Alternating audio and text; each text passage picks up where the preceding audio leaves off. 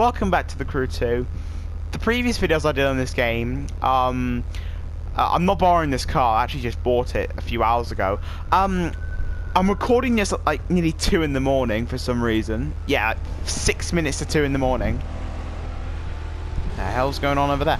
Okay, so this quick little showcase of its performance.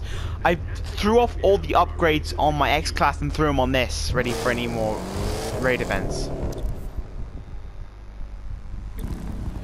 Oh yeah, and here's a little tutorial on how to counteract rubber banding opponent cars on the crew 2. Get this bike because it's got good speed and it's got good handling and it's got awesome acceleration. Two, Watch this. one.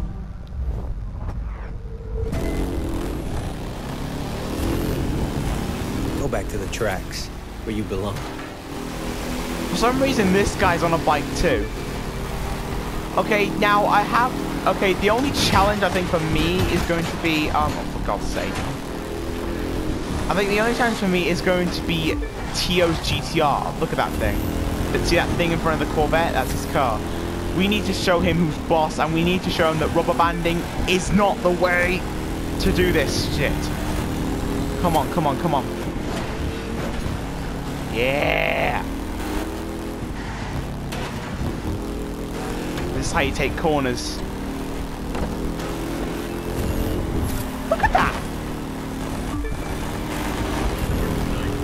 Get off my back to you!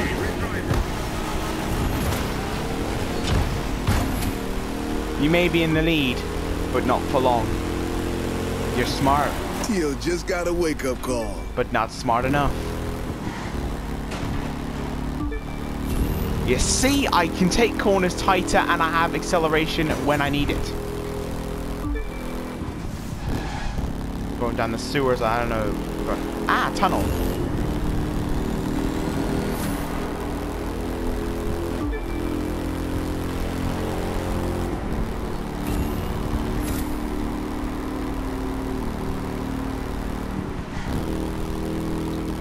He needs to wake up. Jumps aren't the way to beat some pony.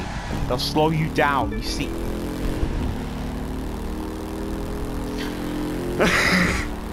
you see, this is how to counteract rubber banding opponent cars on the crew 2. Get this bike.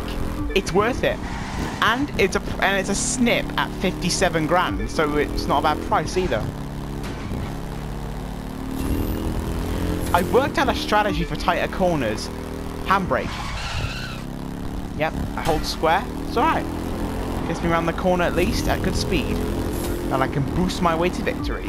Okay, I think I'm coming up to the halfway point. Now. Right, let's hold this lead. Hold this lead. Oh, it's this yellow American hillbilly Rodney. He wants my butt. He wants this Saturn flank. Well, you ain't gonna get it. Come and get it, what the hell am I doing? Okay.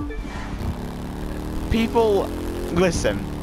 I'm just being weird here. I am being, I am, I'm just a kid who likes to have a laugh with some games and tease the AI drivers and make them a bit pissed off. And give them a bit of um, a nice view. I did just make a butt joke. Um, just got out the building. Uh, yeah, this thing is not good at jumps, but I can just say to you safely that it's decent. Decent enough to get up even the smallest hills, and that's it. Just make sure you get a good run up, and as long as you've got decent speed and a full tank of boost, then you can go ahead and let her rip. what was that? I sounded like I was trying. I was constipated or something. Oh, hello, Tio's back. Don't take that jump, okay? Do not take that jump unless you want to get slowed down and get caught in the pack, which is exactly what I have done. Unless you want to be a bit of a yobbo.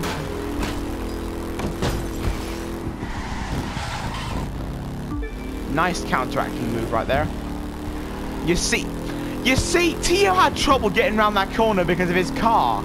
And the fact that it's four-wheel drive and unstable acceleration. Well, I won't say the GTR is unstable. I I think it's pretty well balanced as a car, as a sports car, because it looks absolutely beautiful. And the fact that it's been around for over 11 years, I think it's been, I think it's a brilliant car and it's brilliant.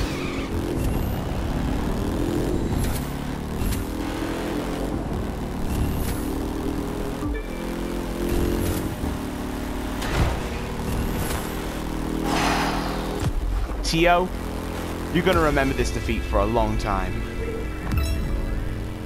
That nearly, that nearly cost me the win, but I managed to do it. Got him. Got him. See y'all later.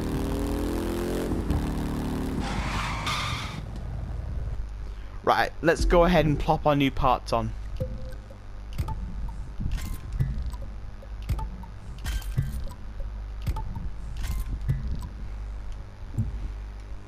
Perfect. Watch this acceleration, okay? That was like 0 to 16, like nothing. Next time, we're taking on the freestyle boss.